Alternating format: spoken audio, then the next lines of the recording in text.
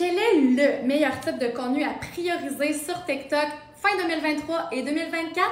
Je te révèle ça dans une seconde. Mais juste avant, Salut, moi c'est Annie, ta nouvelle coach TikTok. Bienvenue au jour 29 de mon défi gratuit TikTok Glow Up. L'algorithme TikTok a changé, c'est vraiment plus comme c'était en 2020-2022. Et si tu veux percer, si tu veux avoir du succès, tu dois prioriser du contenu un petit peu plus long form. Donc du contenu un petit peu plus long. C'est plus une question de faire des trends de 5 secondes comme ça l'était auparavant pour avoir beaucoup de succès sur TikTok. Seulement ça, mais pour aussi bâtir une communauté, te positionner comme expert, comme expert dans ton industrie et pouvoir faire de la création de contenu à temps plein. Donc si tu veux monétiser, ce que tu dois incorporer, drum roll, le storytelling. Le storytelling, c'est simplement le fait de raconter des histoires dans ton contenu. C'est vraiment de raconter une histoire, d'amener les gens dans un processus, dans une aventure avec toi.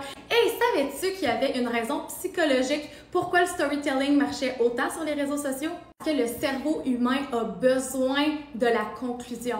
Quand tu ouvres une histoire, quand tu invites les gens dans une de tes aventures, ils veulent savoir comment ça l'a fini. Naturellement, on est vraiment drawn à vouloir savoir quand on a entendu le début d'une histoire, on veut savoir c'est quoi la fin. Donc, je te conseille dès maintenant d'utiliser le storytelling dans ton contenu. Et si tu veux savoir comment faire ça et c'est quoi mes prompts favoris pour pouvoir intégrer le storytelling dans ton contenu, abonne-toi et commente storytelling.